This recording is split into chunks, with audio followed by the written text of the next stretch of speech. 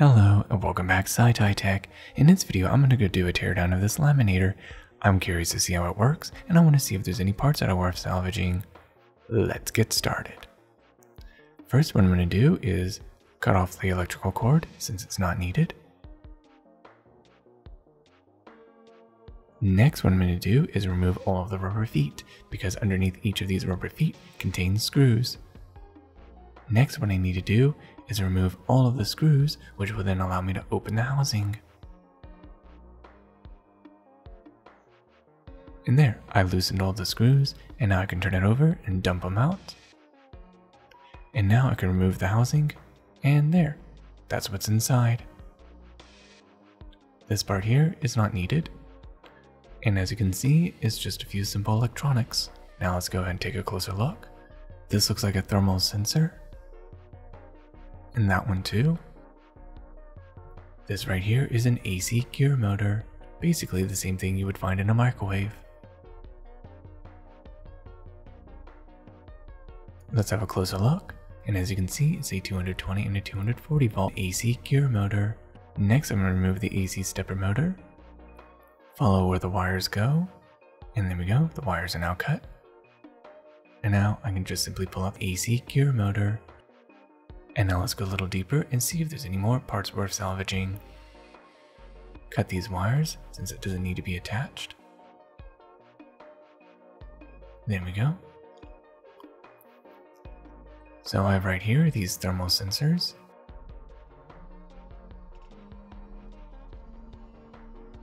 Since I can't pull the connectors that easy, I may as well just cut the wires.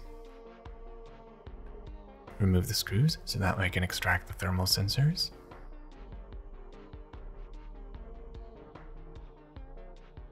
And there we go.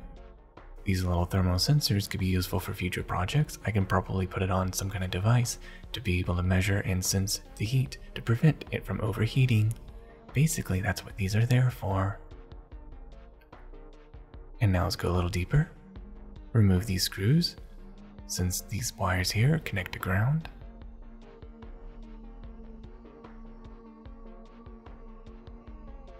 This right here looks like another thermal sensor. One sensor is for higher heat, and the other sense is for a little bit lower heat.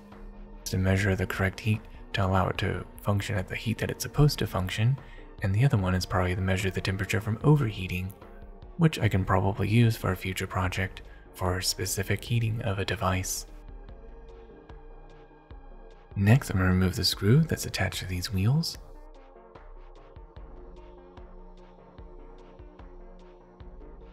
Now open it up, and as you can see, it has these little rubber wheels. And this right here is the heating element for the device. Cut the wires, and now pull it out.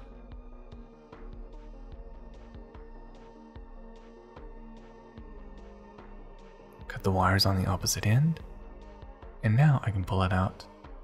Hmm, this part could be useful for a future project, maybe to use as some kind of warming device.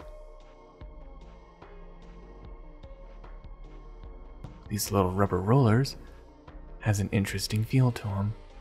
They have a little bit of friction and they seem a little bouncy. Not really sure what I can do with this, but maybe use it for a future project.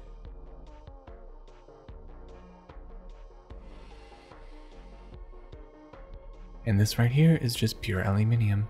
Not really sure what I'll use it for, possibly as a heat sink or maybe just to melt it and scrap it. And you can tell that it's aluminium because the magnet doesn't stick to it. But using the eddy currents, you can see the magnet slides down slowly, which is always fun to look at, but I'm probably just going to scrap this, maybe melt it down to turn it into something else. And as you can see, this fuse could be potentially useful for future projects since this is a 250 volt AC fuse, uses 10 amps, and it can handle a temperature of 142 degrees Celsius.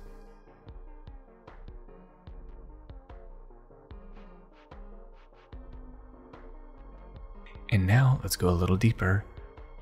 This little box right here is the motherboard that controls the entire device. So now let's go ahead and open it up and see what kind of components are worth salvaging. How interesting is a very simple device. Using a few simple components, a 2 watt resistor, some rectifier diodes, transistor, electrolytic capacitor, some LEDs, more resistors, an inductor, a high voltage capacitor, and this little interesting switch right here. And there you have it. This is what I have salvaged from this device. I have right here a bunch of screws that could be very useful for future projects. This little circuit here has a bunch of interesting components that can be very useful. These heating elements can be useful for something. Not sure what, but I can use it.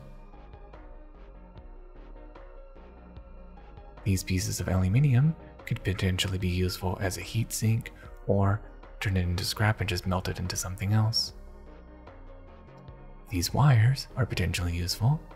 This little gear motor, I'm not really sure if I can use it since it uses 220 to 240 volts AC unless I plug it into a special outlet in America. Otherwise, I might not use it.